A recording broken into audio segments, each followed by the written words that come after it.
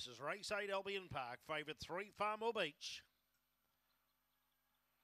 Racing, Farmwell Beach second away, Magical Bill beat it out, third Keen Endo, followed by See Them Try. It ain't Billy holds the fence, followed by Truthiness, Cha Cha Charlie and Hopes King running into the back, and there goes the favourite, Farmwell Beach to the lead by three over Magical Bill. It ain't Billy to the inside, followed by Truthiness, a break to Keen Endo, See Them Try. Cha Cha Charlie and Hopes King. Nipper leads by four down the side, Farmwell Beach in front. It ain't Billy is starting to make up ground. Farmwell Beach in front. It ain't Billy trying hard, but Farmwell Beach. Farmwell Beach beat Ain't Billy. Third either See Them Try or Truthiness. Followed then by Cha Cha Charlie in front of Endo, Hopes King and Magical Bill in around 30 even to Nipper.